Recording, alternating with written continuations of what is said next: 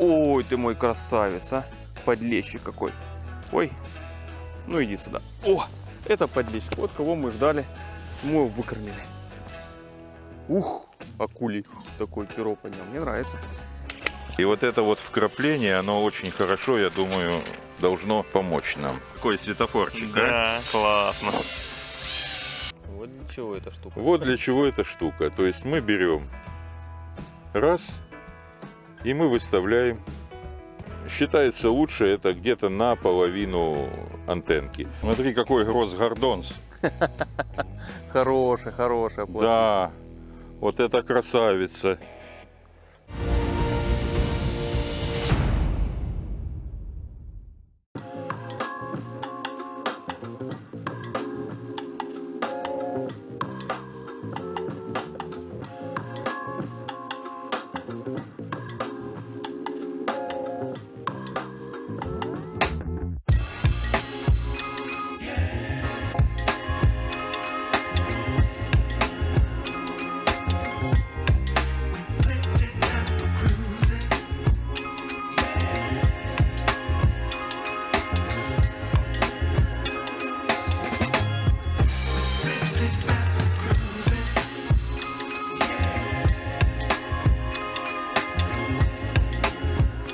Всем привет! Мы решили тут выскочить, попробовать половить на поплавочку карасика. Не знаю, честно, что из этого будет. Я в этом абсолютно далекий человек. Единственное, что я знаю в поплавочке, это то, что я ловлю карася весной один раз в году. И один раз ловлю тарань. Ну, проходная форма плотвы у нас, кто не знает. Все остальное, сегодня эксперт у нас Игорь.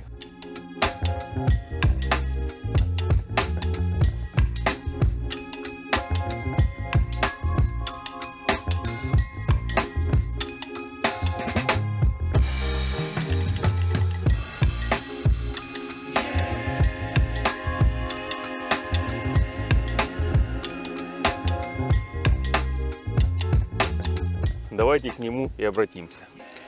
Так, сегодня мы попробуем ловить на 8-метровый мах, потому что водоем здесь э, карповый в большинстве. Рыбка стоит подальше.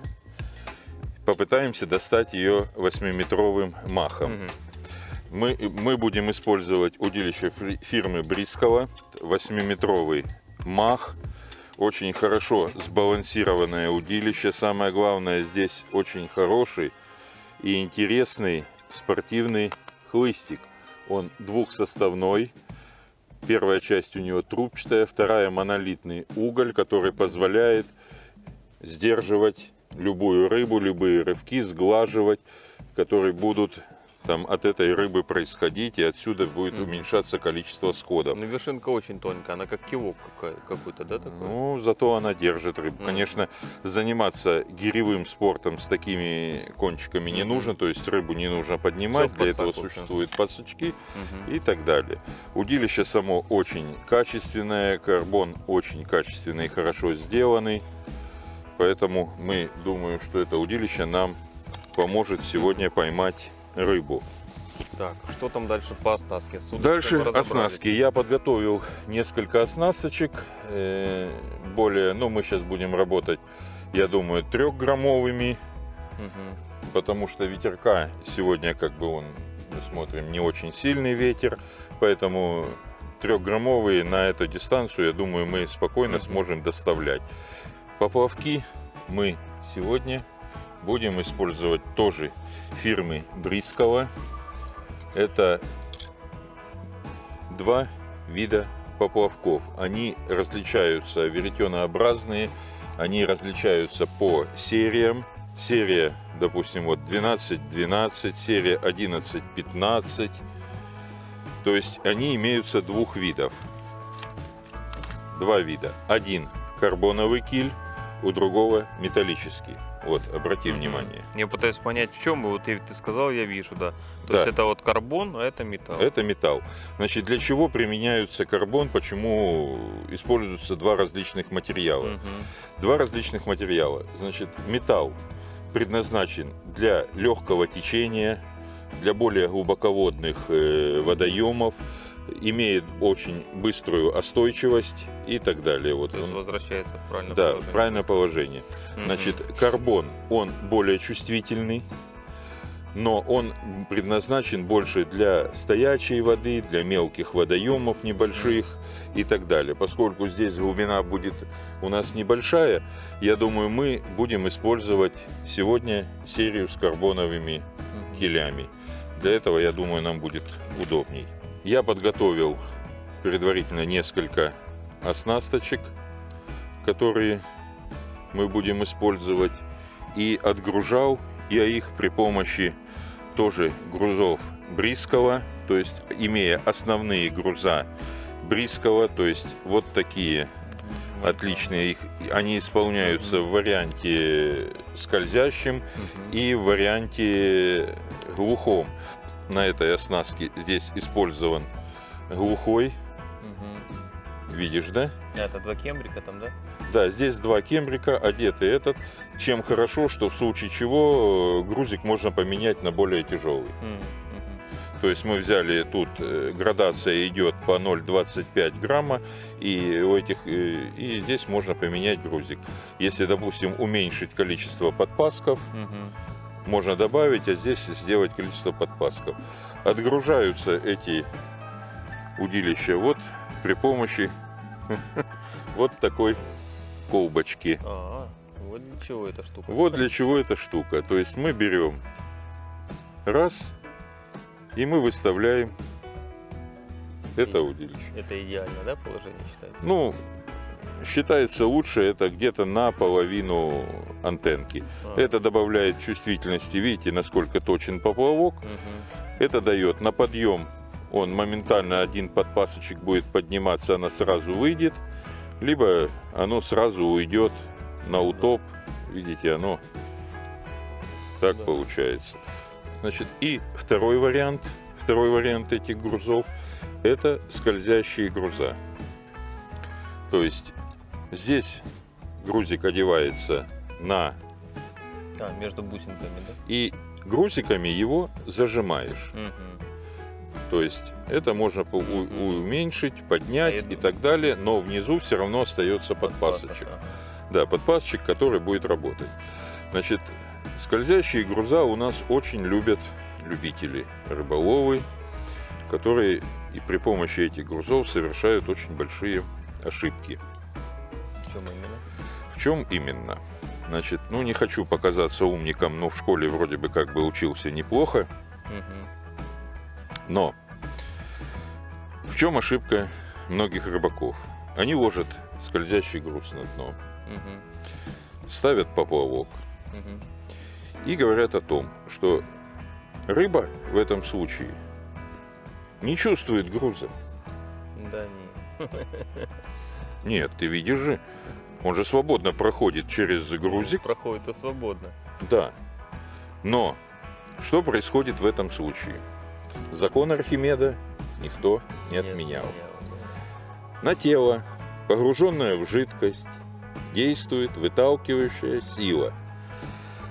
Мы положили груз на дно, но рыбе нужно преодолеть ту силу выталкивающую, которая это.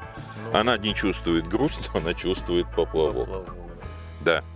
И поэтому это все грузики в этой сбалансированной в любой поплавочной оснастке нужны для того, чтобы придать нулевую плавучесть. Я увеличить чувствительность, увеличить чувствительность твоей антенки. Почему в спортивных поплавках применяется именно эта антенка? Чем тоньше антенка, тем меньше действие закона понял. Я Архимеда. понял, да, тем легче рыбе затянуть, я понял. Все это происходит, это особенно это нужно, когда идет очень деликатная ловля, когда вот осторожная рыба, как вот сейчас зимой, я не знаю, как это будет еще у нас э, происходить, и ну сазан точно у нас, я думаю, вряд ли возьмется, потому что на ямах стоит, да. Но будем надеяться, что карась сегодня как-то активность какую-то проявит, потому что он зимой все-таки ловится и так далее. Вот.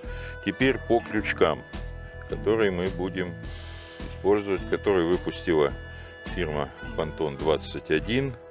Крючки изготовлены в Японии. Это чисто японский продукт. Есть несколько серий. Эти крючки в основном спортивной направленности. Очень хорошие, очень качественные. Здесь есть серии с удлиненным цевьем, есть серии с лопаткой. Это очень легко понять даже любому любителю. Не надо присматриваться под микроскопом, как на каждой пачке стоит маркировка. То есть здесь лопатка и крючок кованый. Он приплющит с двух сторон, что позволяет ему не разгибаться, не ломаться и иметь более при тонком э, проволоке, более качественный этот. Если мы смотрим, допустим, вот здесь, то здесь уже у этой серии 16503 Идет колечко. идет колечко и Тоже тоже, кованый. тоже он кованый. Вот.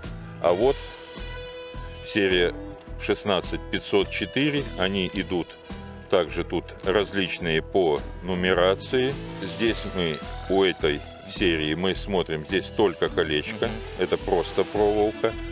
А серия 0, э, 16506, то это вообще уникальная серия.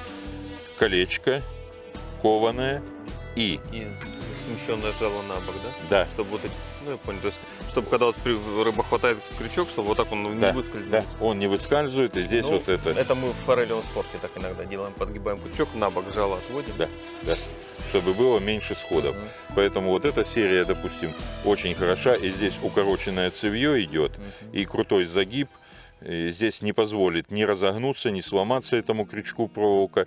И вот эта серия тоже очень хорошо подойдет под карповые, под карася Мгм. и так далее. Заранее связал оснасточки, используя поплавки Брескова. Это у нас модель 213 трехграммовый. Поводочки для начала возьмем с таким крючком. 11 номер попробуем. Рыбка здесь не сильно меленькая. Есть навязанный заранее поводочек сейчас. Петелечка в петелечку. Мы оборудовали. И теперь наша задача установить эту оснастку на наше удилище.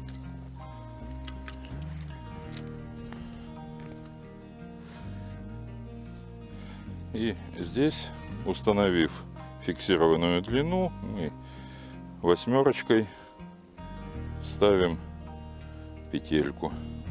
И в коннектор закрепляем наше фиксируем. Оп. Удилище готово. Теперь будет промер глубины. Приблизительно мы знаем, что здесь глубина порядка полутора метров, поэтому где-то приблизительно выставим, ну а точно будем уже вымерять на забросе.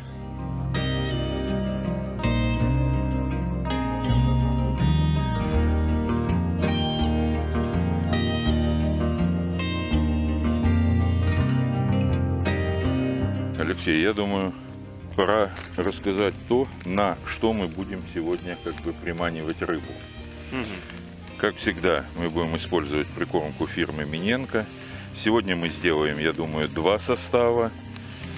А я надеялся все-таки один, чтобы, думаю, так примажусь к твоему опыту. Нет, к опыту нормально. Вот, просто э, мы с тобой знаем, что на этом водоеме есть сейчас преобладают две рыбы в это время года. Э, это карась и лещи, они хорошего размера, хорошие эти. Поэтому мы будем немножко пробовать сегодня два состава Мгм. на наши маховые удилища. Я попробую настроиться на карася. Тебе советую Ну, на да, леща. я все мечтаю половить прям достойно леща. И вот сегодня я тоже максимально по прикормке подготовился под леща. Э, И ты знаешь, я взял темную базу, не черную, а дарк темную, но немножко высветленную, потому что, насколько я заметил, здесь же соревнования у нас были по, по фидеру. Все-таки немножко высветленное пятно чуть лучше рыба реагирует, чем Да. более темное. Да. И поэтому я еще взял вообще даже прям совсем светлую. Я еще не знаю, добавить ее сразу либо чуть-чуть, чтобы немножко пятно выделить. у- укрупнить, сделать крупненькие фракции. Да, они будут там лежать на Ну, ней. а я попытаюсь все-таки немножко как бы такой вариант чисто карасевый. Я беру э, базу Competition. Это Проспорт черную. И сюда добавлю немножко Ух ты, красота. одну светлую, Ага. чуть-чуть расцветлю, и добавлю зеленого карася. Эту прикормку очень любят любители. Она себя очень хорошо по карасю зарекомендовала. Ее очень хорошо берут и ну, вообще она карася ставит на точку шикарно. Также мы, я добавлю немножко аромы.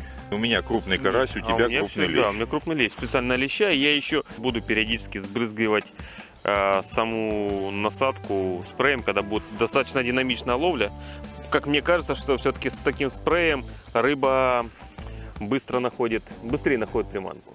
Что очень хорошо в этих пачках прикормки, здесь не надо искать ножницы или использовать зубы. Здесь специально здесь сделано это. Они очень легко открываются. Главное не мусорить. Это нужно забирать с собой. Сделаем такой светофор. Зеленым. Я, я хочу посмотреть, как она будет выглядеть именно с этим зеленым. Шикарно, ты Да? не поверишь. Обалдеть. Покажи, постой, дай посмотреть. Ничего себе. Ого, какой интересный. Да. Ну, такой бисквитный какой-то оттенок, да? Ну вот Более такой, как... И вот это вот вкрапление, оно очень хорошо, я думаю, должно помочь нам. Ну и поскольку у нас немножко погода прохладная, прикормочка будет. А, красиво как. Какой, какой светофорчик, а? Да, классно. Вот она и стала из темной, она как раз превратилась в такой интересный Да. цвет. Вот. И теперь мы добавим сейчас, чтобы по холодной погоде, чтобы это все хорошо пропиталось, все частицы мы будем несколько раз увлажнять, минут там через 10, пока мы добьемся. Кстати, здесь тоже зеленый цвет.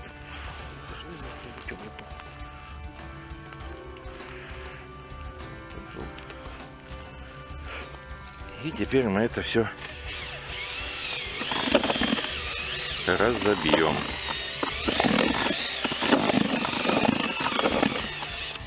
И теперь по чуть-чуть будем увлажнять.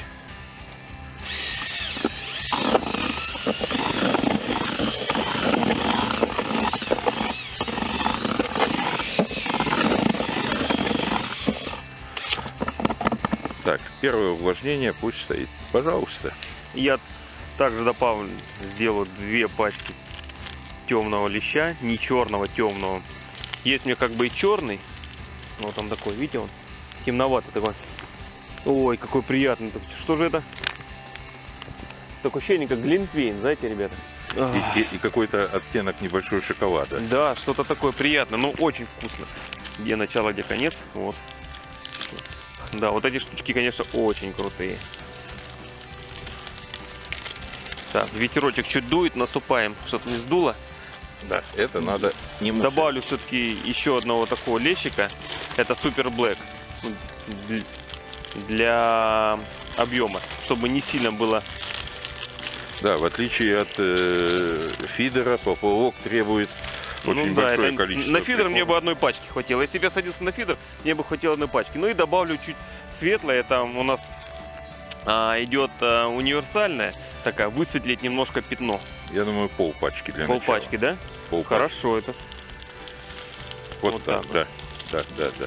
Так. Немножко сделать крупненькие всплывающие частицы. Да. И что добавляю? Добавляю крупный лещ. Нет, сначала А, взбить слегка. слегка. Вот видишь, О, тоже, классно. тоже интересное. Интересный цвет. Эта вот светлая прикормка, она добавила таких вкраплений. Красных, светлых. И аромат стоит безумнейший.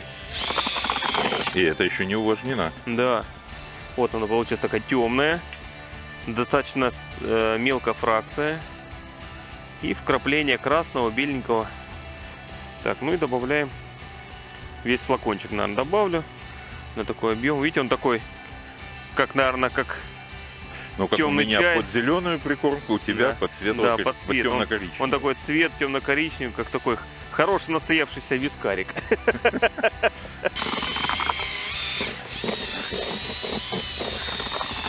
Ты знаешь, я заметил, что мне нравится вот эти венчики, когда на краю ободочек, вот это он не бьет вот этими штуками. Да. Вот, если это, у меня такой же венчик, если я заказал, но вот надо все-таки еще заказать будет такой с кругленькими, с ободочком. Так он не разбивает. Мгм. Ну, ты понял, они, Нет, они ж не бьют эти Мне грани, не такой- разбивают Такой легко. еще не попадался. Давай, Вот, я тебе начинает- закажу. Начинает пить. Ага. Начинаем. Добавим еще. Она у меня немножко подсохла. Передай, пожалуйста. Ты мне скажи, мы животный компонент добавлять будем? Будем. Но Ага. это уже перед э, Ага. того, как у нас получится полностью увлажненная прикормка увлажнится, тогда мы будем уже перед тем, как лепить шары, мы добавим животный компонент. Ага. Ну, я думаю, пусть наша прикормочка пока постоит, а мы пойдем займемся Сравни. нашими... Сравни. Давай мы покажем, что у нас получается предварительно по цвету. У тебя красновато, Да. у меня зеленовато. Зеленовато. Арома немножко разная. У меня больше бисквит, у тебя как бы там виски Виски, а у меня с вискарик. шоколадом.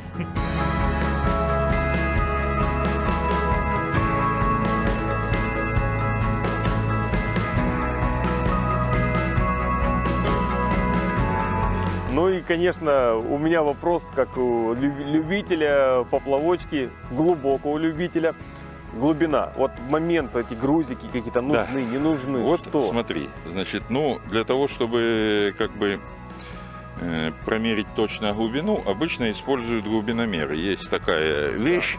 Ну, у меня он тоже есть, да, но я им, честно говоря, никогда не пользовался. Да, Ну, он, он для красоты у меня лежит, а то вдруг кто подойдет, а у меня его нет. нет, есть такие, но для поплавочки это, допустим, очень будет э, нормально, э, тяжело, вернее. Вот это для штекера хорошо, где точно А. промеряешь. Вот там глубиномером ты простукиваешь дно и так далее. Для маховой удочки глубиномер, ну, как бы до 5 метров, он бы еще и можно воспользоваться.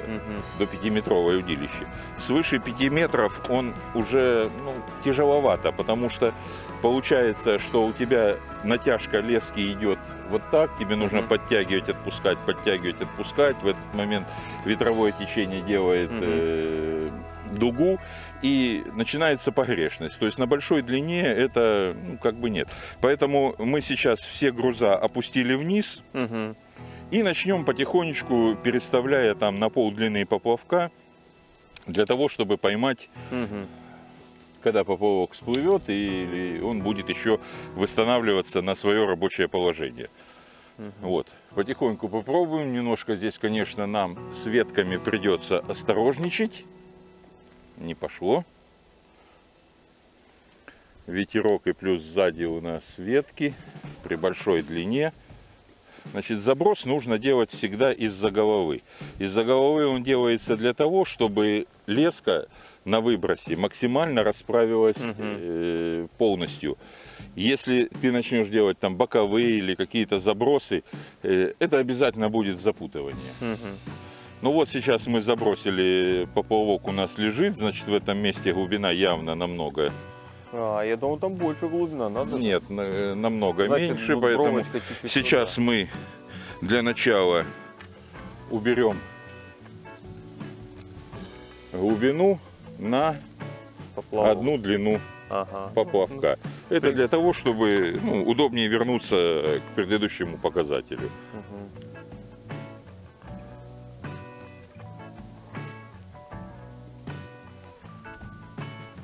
Вот. О, прям идеально. Ну, Ну, не почти, идеально, да, но надо еще чуть-чуть вот по- мы опустить, да. видим уже нашу глубину. Теперь нам нужно понять еще. Сейчас вот в этом положении лучше всего понять, как идет свал. Потому что махом нужно пробивать свал. Что получится? Если мы сейчас стоим на какой-то Мгм. склоне, мы да. начнем кормить шарами, Они будут скатываться, да? Да, ты со спокойной душой, если ты не понимаешь, какое там дно, ты со спокойной душой положил в точку закорма шары, Мгм. а они тихонечко взяли тебя и укатились на метр, на два вперед. И ты такой думаешь, что тут все хорошо, а рыбка Там. кушает там. На твоей точке этого нет.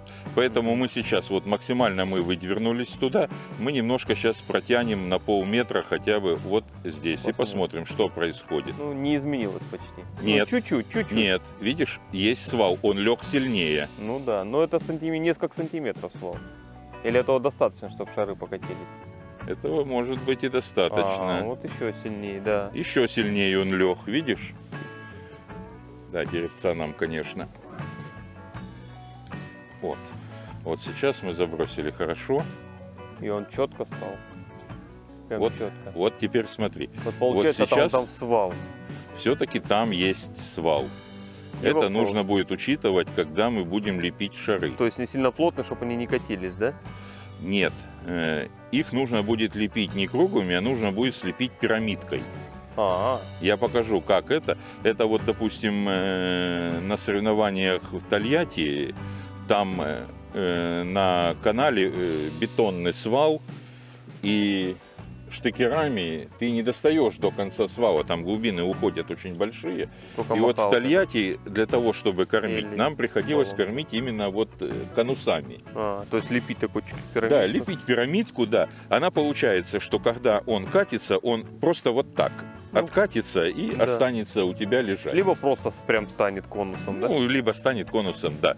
Ну, в большинстве случаев, вот ты бросаешь его, Ну, он да. откатился и стал. Это, ну, такая как бы небольшая хитрость, но она позволяет сохранить на таких свалах, сохранить это. Ну, давай, вот сейчас у нас, смотри, на максимальном он стоит. У нас сейчас фактически весь поводок лежит на дне. Ага.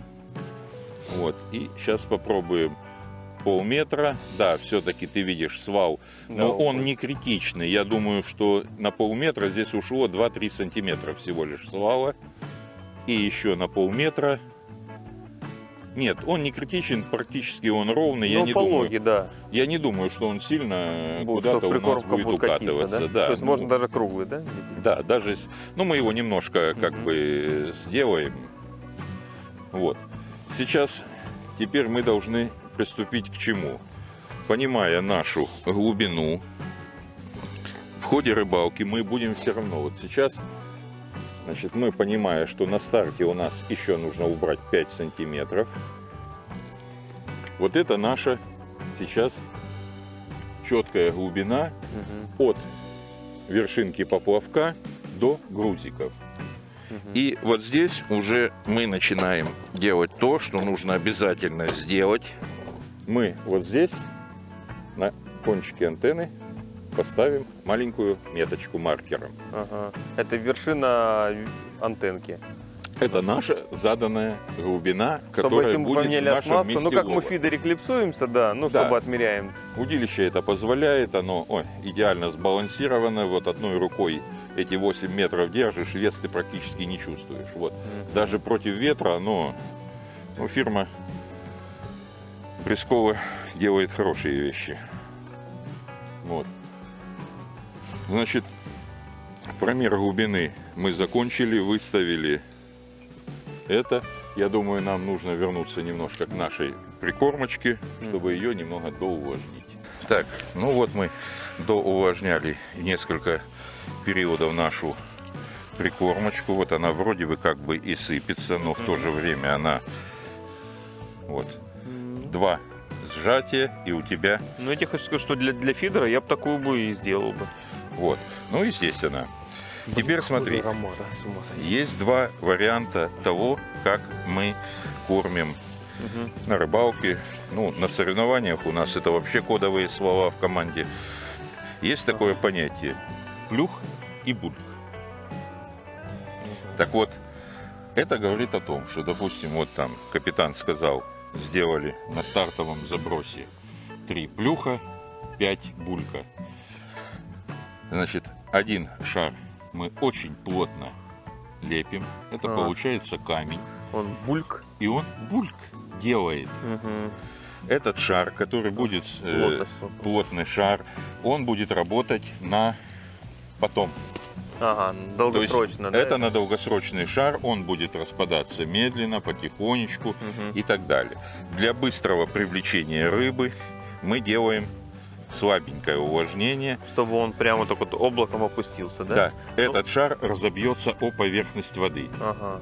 и начнет Ну, течения у Ставить- нас нет, да, и он... Да, течения здесь нет, и он ста- поставит столб пищевой мути, Ага. который соберет тебе быструю рыбу. Особенно на соревнованиях это важно поставить Мгм. быструю рыбу себе, и потом ее удерживать уже вот этими камнями.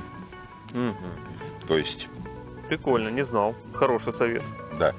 То есть вот это вот, если я видишь, видишь, этот придавливаю, он разваливается сразу, то этот вот он, он очень-очень-очень, мне нужно создать усилия, чтобы его развалить. Но в то же время в воде он все равно разойдется. Мгм. То есть вот эти вот как бы, по заданию кома- команды там и так далее. То есть капитан нам говорит, когда мы на Такая тренировках все это. прикольная. Так, ну что, а, вопрос. Теперь- Все сразу в шары лепим или нет? Или чуть-чуть? Нет. Мы шарами на стартовом закорме сделаем где-то процентов 60 прикормки. Ого. Да, мы положим ее на старте. Вот, а остальную по мере необходимости мы будем добавлять. Карась э, с моей стороны, он, конечно, не очень любит, когда его бьют по голове. Когда он Мгм. становится на точку, поэтому там нужно будет очень аккуратно, нежно. Вот поэтому я кормить. на соревнованиях здесь ловил максимально легкой кормушкой. Да. Карась не любит. Теперь мы немножко добавим животины Ага. и будем лепить шары. Так, друзья, ну многие знают, что у нас с мотылем небольшие проблемы в крае. Короче, мы собрали все, что есть. Да, мы нашли. С опарышем то еще, смогли. еще На есть, насадку нам хватит, но и что-то мы добавим. Опарыш у меня остался, Вот это- кстати, после соревнований здесь. Здесь был чемпионат Адыгеи проводился по Вот эта малинка будет добавлена понемножку. Немножко. Докормочные шары мы ее Ну и ловить же будем даваем. это Ну, естественно, мы будем ловить, разбираться будем с ним, с червяком, Опарыша с будем опарышем. добавлять? Опарыша тоже мы добавим э, в рыхленькие шары Мгм. на... У меня уже кастер тут образовался. Это нормально или пойдет? Пойдет, он тоже... Плотва его очень любит. Ну Здесь да, это я знаю. постольку поскольку. А по поводу вот живой опарыш, не живой. Ну, понимаешь, живой опарыш в смысле в том, что если ты будешь лепить с живым опарышем стартовые шары, Могут расползтись, да? да, он не расползется, он просто взорвет тебе шары. А, как разрыхлитель будет, да? Да, он их взорвет. Он, выползая из них, он взорвет. Поэтому его либо э, заваривают, либо топят, э, Ага. чтобы он как бы Вот не так. взрывал шары на старте. Поэтому мы его в стартовые добавлять не будем. Мгм. А вот э, э, когда будет докормочный, Мгм. ты немножко взял, добавил, шар слепил и тут же его... Это быстрые вот эти шары, да? Я Да, понял. для быстрых шаров, да, Всё, докормочные окей. и так далее. Мы Окей. сверху положим. Хорошо. Э, Как на маховой удочке Мгм. определять точку закорма? Да. У тебя фиксированная длина. Мгм. Куда бы ты не забрасывал, у тебя получается как циркулем нарисованный Ну полукруг. Да. А дальше включается обыкновенная система координат. Ты берешь ориентир на той стороне, Мгм. у тебя полукруг отсюда и туда, у тебя получается четкая точка закорма. Мгм.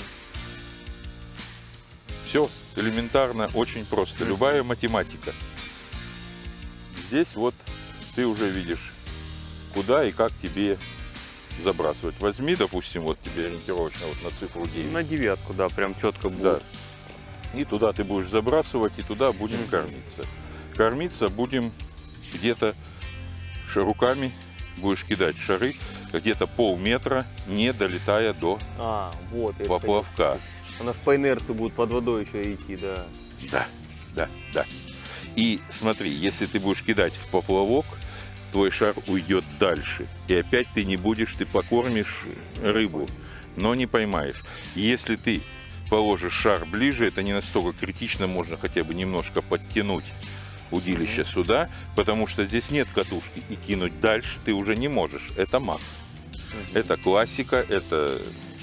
Мгм. Я понял.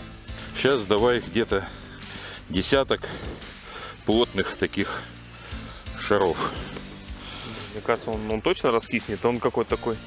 Рассыпется, рассыпется. да? Вот, можешь возьми. Вот Да не, я сюда положу и аккуратно.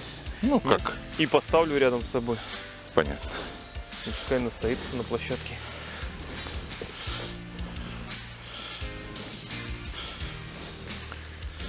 Сколько штуки, бульк штуки делаете? 4 булька еще делать. А животину? Это потом, Это когда... мы потом оставишь немножко, еще добавим туда, и потом уже те добавим с желатиной. Фрикадельки классные, ребята. Если бы узнали, как они пахнут, эти фрикадельки. Просто фантастика. А мягкие шары тоже лепить сюда же или отдельно? Не, ну как бы ты их А. должен видеть, чтобы это твои те или те. Ну вот это да. Все, двигаемся. Два раза, чтобы не ходить. Чтоб пять раз не ходить, скажу три.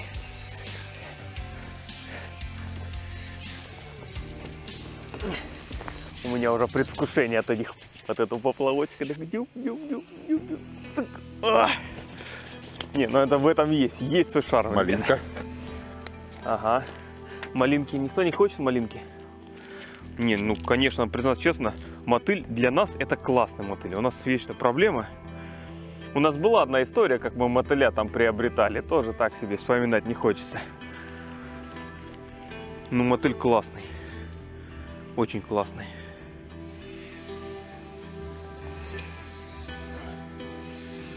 Отличный заброс.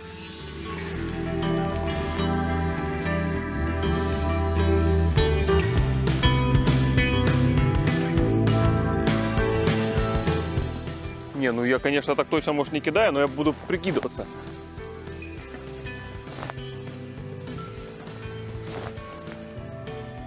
Не, ну достаточно точно. Один плюх развалился в воздухе. Не, не совсем точно. Но ничего. Во. Видно, да, легла. Ага, пузырь. О, жирные пятна пошли. Да, ты прав. Аж жирные маслянистые пятна всплывают от прикормки. И вот, ля-ля, и муть пошла. Ты глянь, что у меня с прикормкой творится. Да она активная, она прям такая, прям у меня. Слушай, это вообще круто. Ты посмотри, что творится. Всплывают какие-то мелкие белые частицы. И, наверное, от вот той белой, что мы добавили. Да. И они, и они прям вот активные. Обалденно. Прикольно. То есть прикормка начала рассыпаться пятном таким. Поэтому а, частички эти белые всплывают. Друзья, добавляйте опарыша. Обязательно. Вот так вот надо. Ну, вы поняли вообще, вообще всю эту тему. Ну, с мотылем так не прокатит. Вот так вот раскидаем чуть-чуть. Разрыхлим его кормом. Перемешаем, сделаем эти легкие такие шары слабой плотности, которые быстро разойдутся у нас.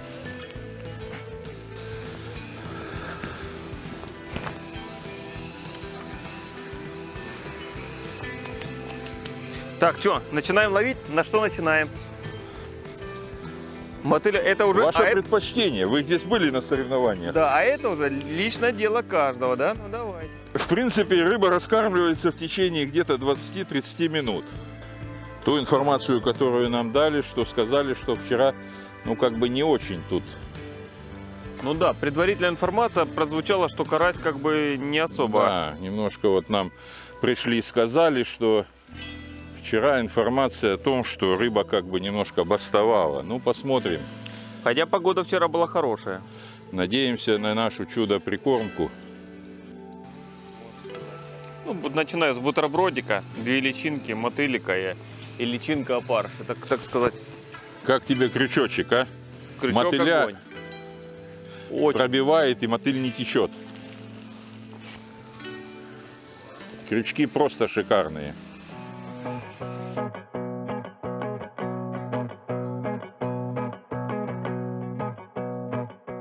Немножко уберем.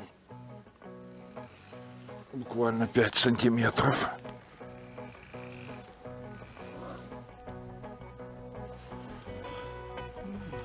Посмотрим, что у нас над дном. Ох ты! По зубам дал? Ага. Я не понял, конечно, что, но Подлещик, наверное. поплавок утопился полностью. Так, попробуем еще. Чуть-чуть. И- Да, абсос. Да, поклевка была на проходе над точкой. А что за наживка была? На что именно? Бутерброд. Бутерброд, да? Бутерброд, да. Но сейчас попробовал поставить чистого э, три мотылика, посмотрим. Вот опять был подъем. Прям заметный подъем или еле-еле?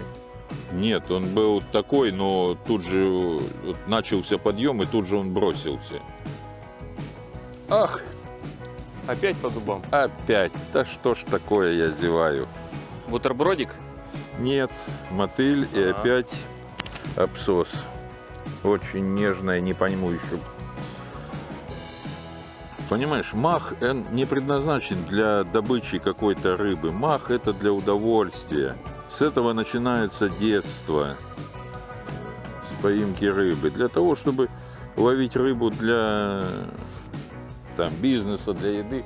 Существует много достаточно других видов э, ловли.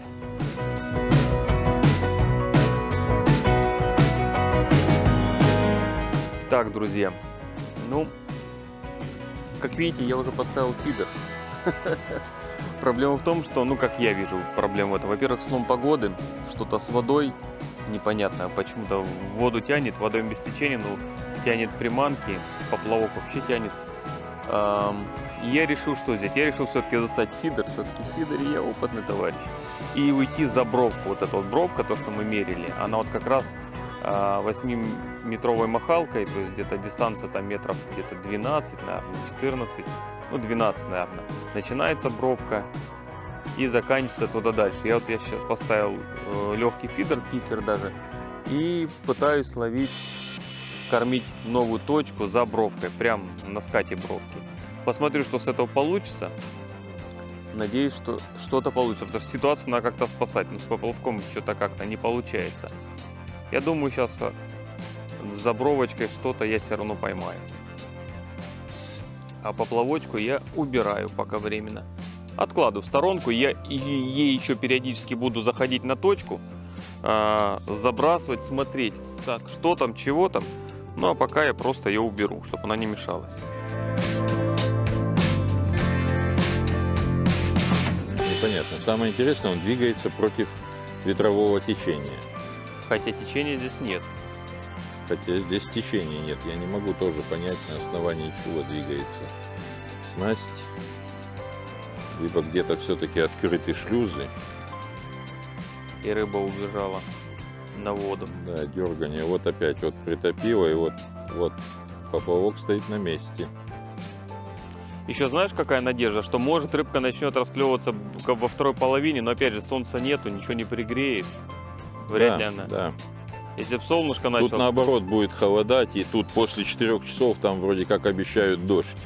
А, ну это все.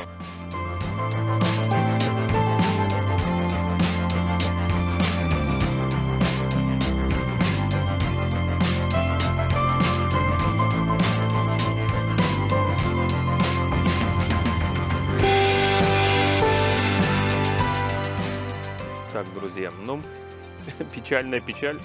Совсем ни одной поклевки я не видел. Но тут надо, как говорится, что-то поменять. Либо рыбака поменять, чего как бы мне не особо хотелось. Либо что-то попробовать. Но вот я знаю, что здесь э, на соревнованиях у нас срабатывал чесночок. Чеснок. эм, такая сладкая тема. Такая она прям. М, да, безумно сладкая. А! И чеснок, сладкий чеснок вообще не, необычно. То есть я что, я просто сухой корм его налью, и он такой закомкуется, и потом прям в кормушку добавлю эту тему. Так вот, чуть-чуть его полью, так размажу его. Дай поводок в руку не взял, зацепился. Теперь вот этот скомковавшийся корм а, вместе с этой сладкой аромой туда зап- запихнул. И четенько такой, вот так вот, четенько в точечку. Прям за нашу бровку.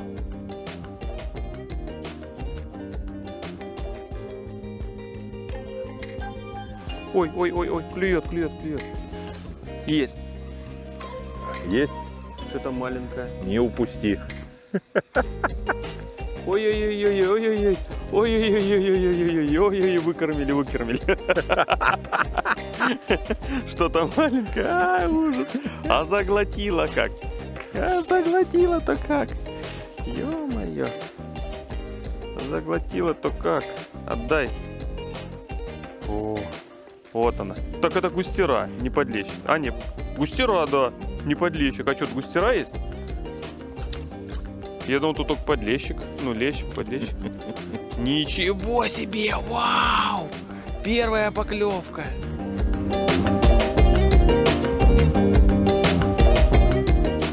Вот так вот, вот так вот. Есть, пошел процесс. И тут, и дальняя заработала. И такая поклевка была. Я еще молчу со всех сил. Думаю, молчу, насколько есть сил. Но это я буду в подсак, ребята, брать. Это я буду брать в подсак. Наверное, что-то такое приятное-приятное. Чуть-чуть подубинил. То есть не зря я добавил чеснока и говорю, а вдруг? А вот он вдруг и случился. А ну-ка, это то, это ты, товарищ? А нет, это просто хороший карасик. Так, а какой здесь поводок, Игорь? Не, 0,14. А, ну тогда иди сюда. Ну тогда иди сюда, карасик. О, Ой, 0,14, 0,12. 0,12. 0,12. Красавчик такой. На маленький этот крючочек. На что он клюнул? Клюнул личинка мотыля. Ой, личинка белого парыша. А, два мотылика. И сбрызнул спреем. Стандартный бутерброд. Да, стандартный бутерброд и спрей. Спрей этот эм, карась. Мгм.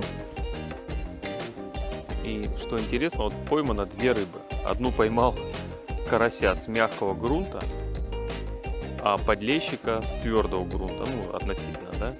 То есть, казалось бы, наоборот, карась тут больше любит держаться на твердом, а лещ, ну, подлещик, он на таком мягком грунте любит там поковырять. Сегодня вообще полностью все наоборот. Я вот сейчас начал накрапывать дождик, надеюсь, это хоть немножко поспособствует активизации рыбы, но рыба вообще не активная. Поклевки еле-еле заметное э, движение квертипа. То есть практически даже и можно было не заметить, если так вот долго не всматриваться. Э, и достал рыбу, и приманка вся целая. То есть она как-то так вяло настолько берет, что даже не обсасывает, а просто так немного там пробует ее, что ли.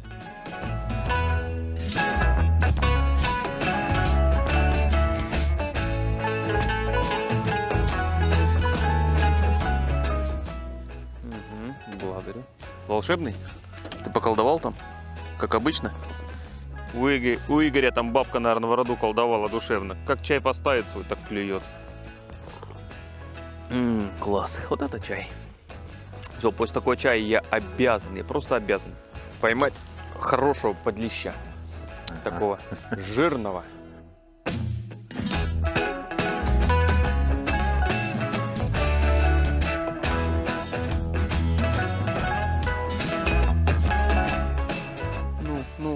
Ну, ну.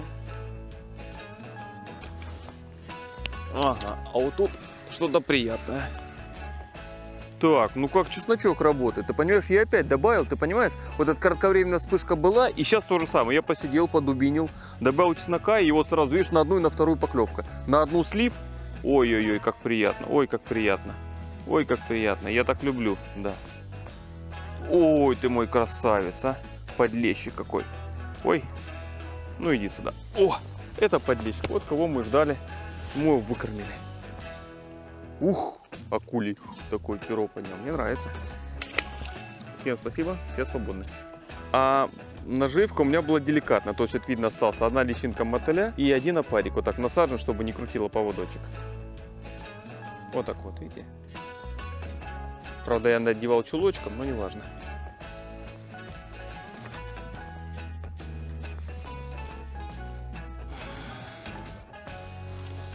Такое верховое течение неприятно леску тянет.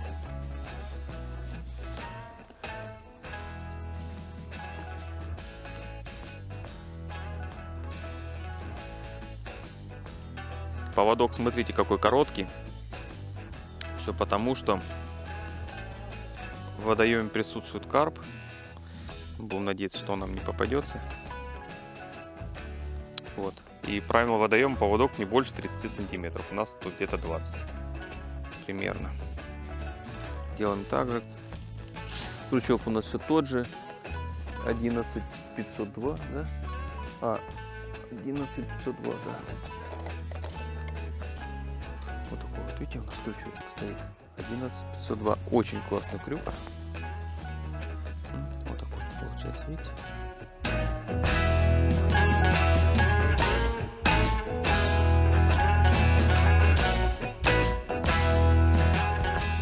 Есть!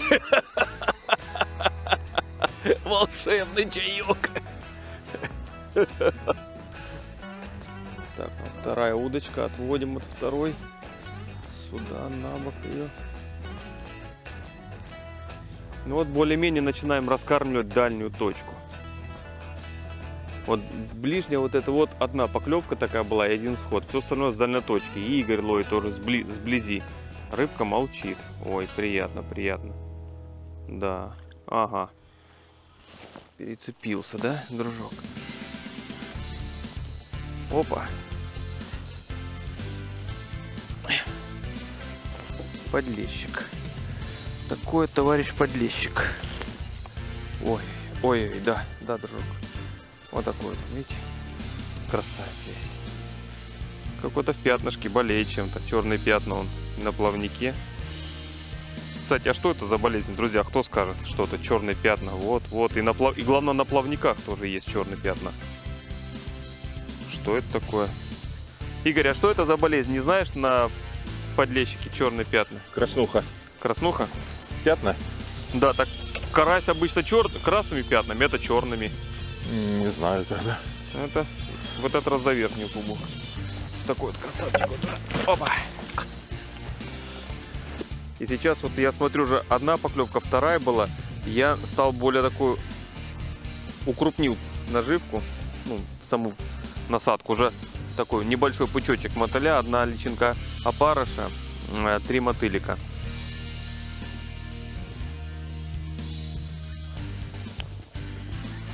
Есть, есть. О, класс. Очень динамичная поклевка, прям такая какая-то безумная, прям бам-бам, такой поклевки сегодня не было. Прям как лупанул, как лупанул. Не поклевка, как будто кто-то там нечаянно зацепил, пробегал какой-то спортсмен, зацепил леску нашу. Да, вы смотрите, это подлещик. То есть мы стабильно его выкормили. Вот так вот. Давай, дружок, иди сюда. Да, 30, 30 метров работает точка.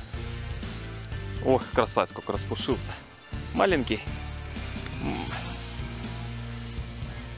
За верхнюю губу. Самое интересное, что поплавок идет против, против ветрового течения. Это вообще уникально. Я вообще первый раз с таким сталкиваюсь. На водоеме, где нет течения, абсолютно нет. Оп. Есть? Да. Ага. Есть всё-таки ты у- небольшая. Уговорил ее, под уговорил. берегом. Ну, тут под берегом и не, неудобно было.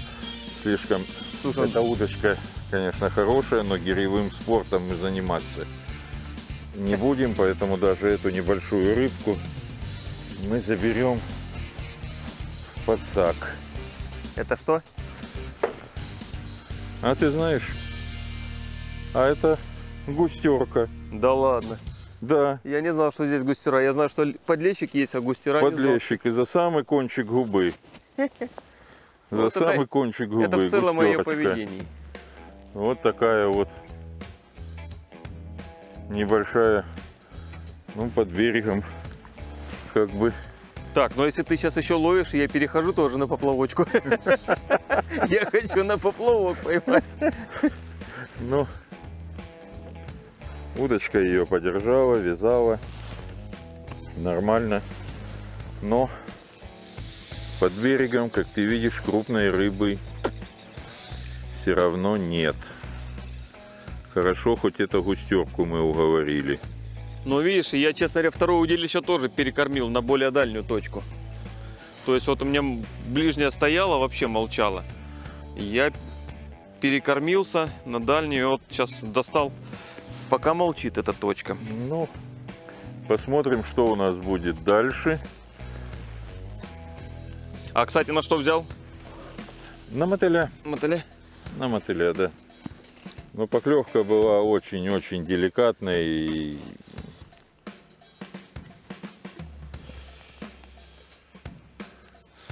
Ты и вторую на даль кинул, да? Да, да, я вторую тоже перешел на дальнюю. Такая же пример дистанция.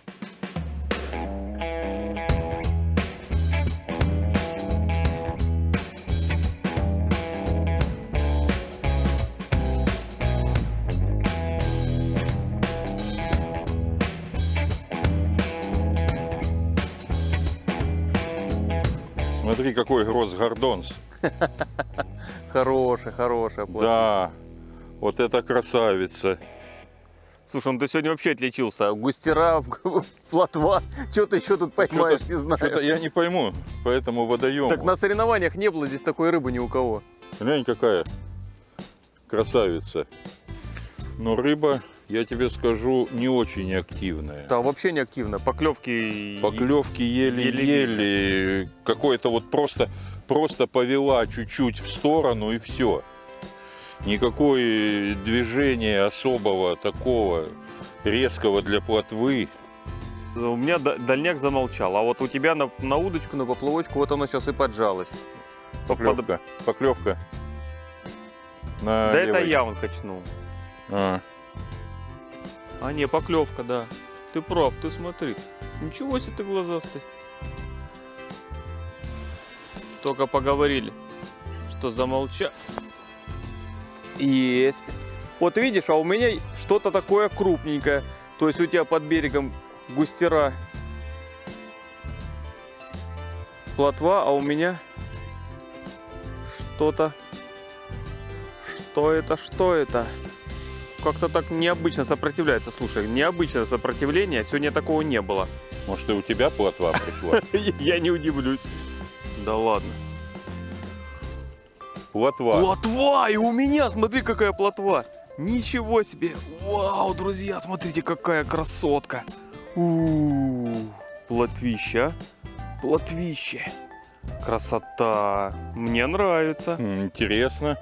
А я говорю, вот чувствую по, сопротив- по сопротивлению такой рыбы сегодня не было. Класс. Вот это да. Вот это мы с тобой разошлись под вечер. Интересно. Рыба, похоже, вообще непредсказуема и, и водоем играет всеми красками, как хочет.